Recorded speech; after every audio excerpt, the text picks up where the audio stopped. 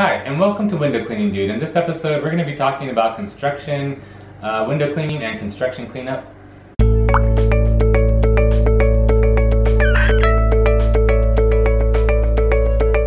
Uh, being new to window cleaning, you might not know much about construction cleanup yet. I know I didn't do construction cleanup for, I think, a couple of years after I had gotten into the business. Uh, but construction cleanup on a, on a window cleaning job is something that you can be doing for new homes that are being built uh, home home builders uh, always need window cleaners to come and clean up the windows when they're done uh, building the home. So today we're going to talk more about that and what you need to know about construction cleanup.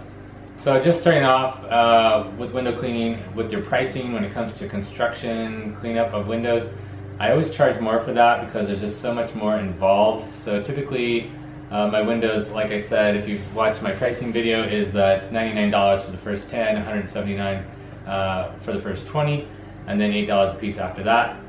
So with construction uh, cleanup, you're probably going to want to charge anywhere from two to eight dollars more per window. It just really depends on how bad the windows are. Um, so you're probably going to want to go and actually take a look at the windows. I wouldn't just quote that over the phone. I would go and look at that directly and then kind of make a determination as to what that's going to be.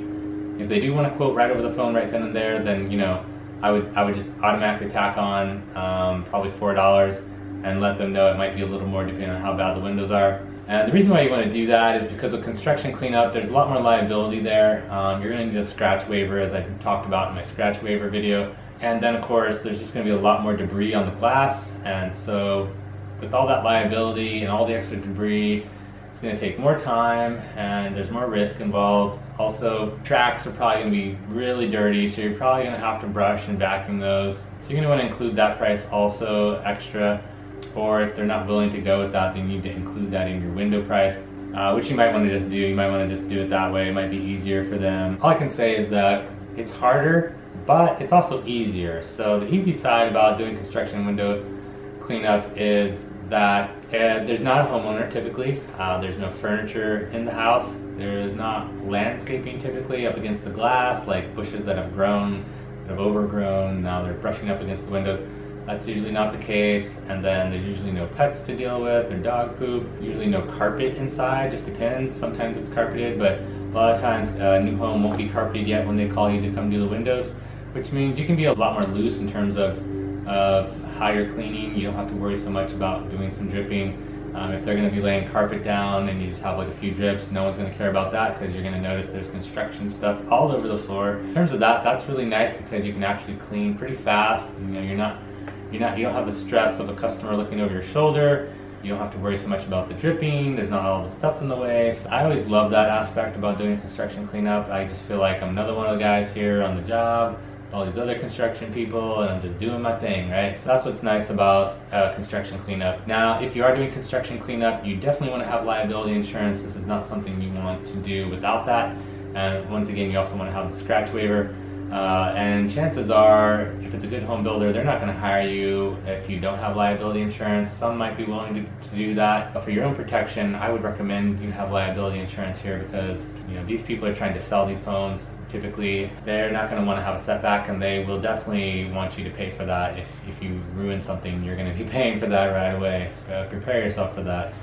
And then also with the scratch waiver, like I mentioned in my other video, make sure they do sign a scratch waiver or don't do the job. And then going into the whole process of doing the construction cleanup, once again, this is where processes are going to come into play. You want to definitely have your game plan uh, already from the get-go and have your process that you're going to do down. So if I was going to do construction window cleanup, I would already be thinking that I'm going to be using my white scrubbing pad and my scraper on every single pane of glass just so that I can speed up my time. I don't have to sit there and nitpick anything and I would know that the windows are going to be clean to the, the builder's uh, satisfaction. If I'm using my white pad and I'm scraping with my blade and then washing the window and squeegeeing, I'm typically not even going to do a spot check on that. Now I don't recommend that, but that's just what I do. It's because I've been cleaning for so long that I know that there's usually not going to be anything to look for. So then I can cut that out of the equation when I'm trying to speed up my time. Definitely go and do construction cleanup if you have liability insurance and you and you can get that scratch waiver and they're good with your price. It's good money.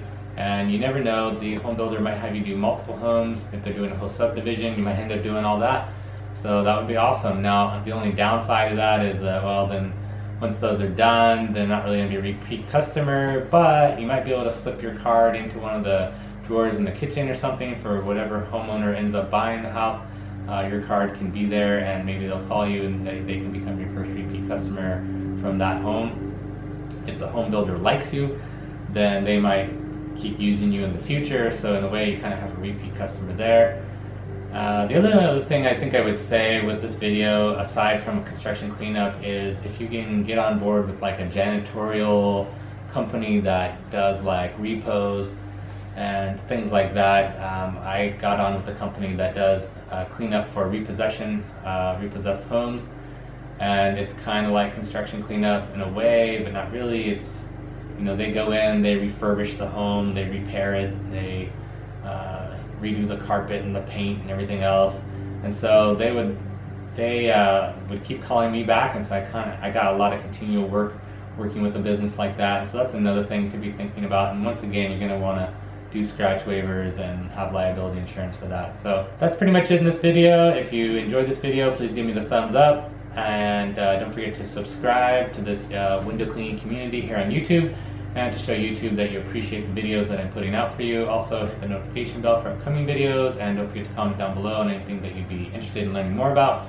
And don't forget to go to windowcleaningdude.com where you can learn everything for free that I have to offer in terms of how to start your business and everything from beginning to end, everything you need to know about window cleaning, how to do window cleaning, how to use the tools, where to find the tools, what I recommend that you buy just starting out, uh, step-by-step guide on, on my processes and everything else. It's all there on windowcleaningdude.com. Thank you for joining me. I will see you in the next episode.